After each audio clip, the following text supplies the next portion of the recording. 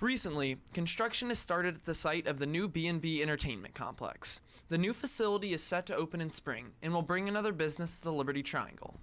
In 2016, the Liberty Commons wiped out the old B&B Liberty Theater.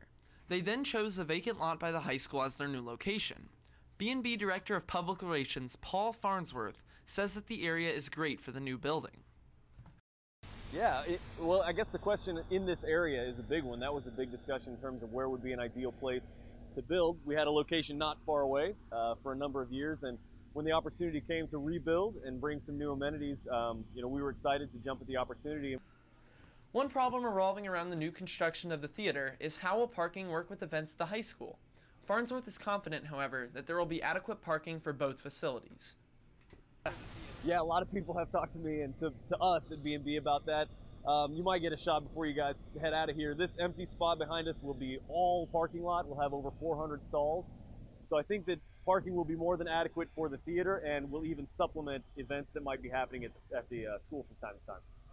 The new $11 million state of the art entertainment complex will house 12 screens, including three IMAX screens.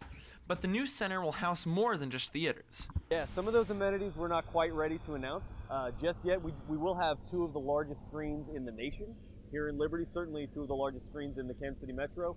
Uh, we're going to have extended menus for food and beverage service. There will be a full service bar, uh, which might not hit you guys specifically, but uh, guests over 21 can certainly enjoy a, a wine, beer, cocktail in, in, those auditoriums.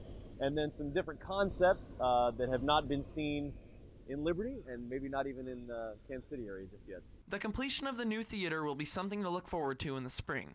This has been John Alvey, Thomas Hand, and Jacob Wolfley signing off for KLHS News.